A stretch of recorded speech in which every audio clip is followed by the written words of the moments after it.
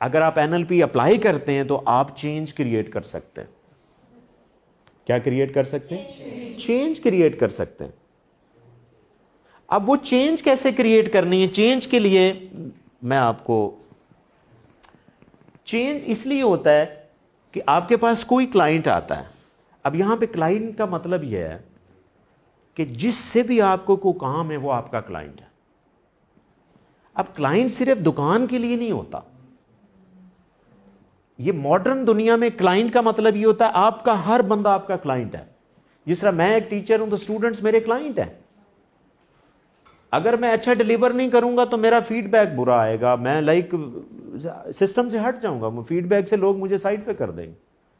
So every person अक्सर आपने सुना कि ये बिजनेसमैन के क्लाइंट होते हैं। नहीं, ऐसी कोई बात नहीं है। हर इंसान का क्लाइंट है। आप टीचर हैं तो आपके क्लाइंट